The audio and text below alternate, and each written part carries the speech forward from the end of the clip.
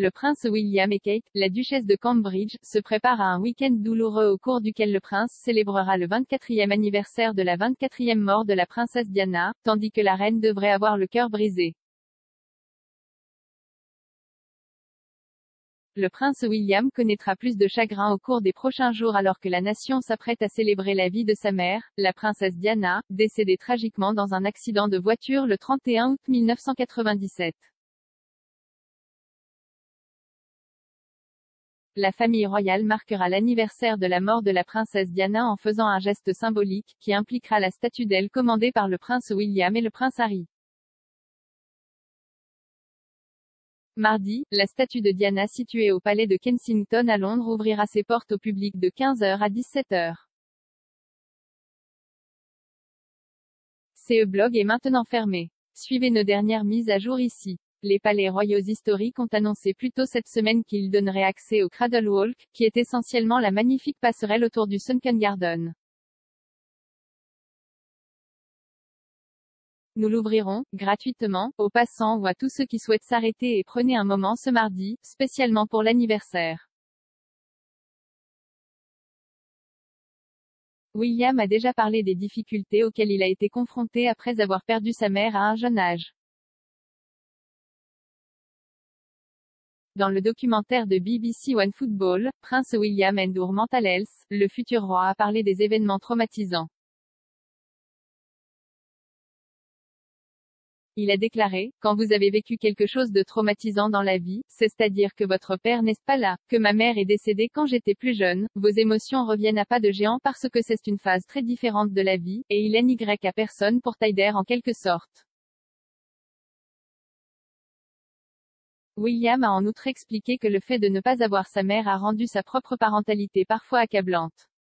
Moi et Catherine, nous nous soutenons mutuellement, et nous traversons ces moments ensemble, et nous évoluons et apprenons ensemble.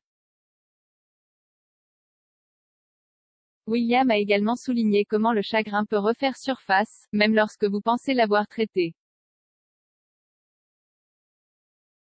Il a déclaré, émotionnellement, des choses arrivent à l'improviste auxquelles vous ne vous attendez jamais ou que vous pensez peut-être avoir traité. Dans un hommage déchirant à l'occasion de la fête des mères plus tôt cette année, les enfants de William, le prince George et la princesse Charlotte, ont également rendu hommage à leur granny Diana. Dans un hommage écrit à la main, Charlotte, 5 ans, a déclaré, Chère grand-mère Diana, je pense à toi le jour de la fête des mères. Je t'aime beaucoup, tu me manques. Beaucoup d'amour Charlotte XXXXXXXXX, la carte de son frère Georges, âgé de 7 ans, disait, chère grand-mère Diana, bonne et heureuse fête des mères. Je t'aime beaucoup et pense toujours à toi, je t'envoie beaucoup d'amour de la part de Georges XXXXX. La reine, qui a elle-même connu une année difficile après avoir perdu son mari, le prince Philippe, devrait également avoir le cœur brisé ce week-end alors que les manifestants de XR ont pris pour cible le palais de Buckingham plus tôt cette semaine. Les militants ont rempli une fontaine à l'extérieur du palais de Fossan, le groupe environnemental a escaladé le point de repère et a brandi des pancartes indiquant « Bain de sang royal » alors qu'ils menaient leur manifestation à la résidence de la reine. Un certain nombre de manifestants se sont également tenus dans la fontaine du mémorial de la reine Victoria, qui l'ont recouvert de peinture rouge pour protester contre la chasse aux animaux. Les manifestations des Extinction Rebellion visent à occuper des parties du centre de Londres pendant deux semaines. L'objectif principal du groupe cette année est d'exiger du gouvernement qu'il mette fin à tout nouvel investissement dans les combustibles fossiles. L'arbre de Prince George à Highgrove est devenu beaucoup plus grand que le petit royal ne s'y attendait, et est maintenant même plus haut qu'une grange.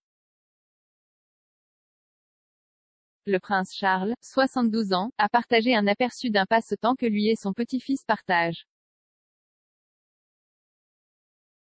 Le couple, avec la princesse Charlotte, a planté des peupliers baumiers en 2015. Les enfants royaux se sont souvent mesurés aux arbres, a déclaré le prince de Galles au poète lauréat Simon Armitage sur BBC Radio 4.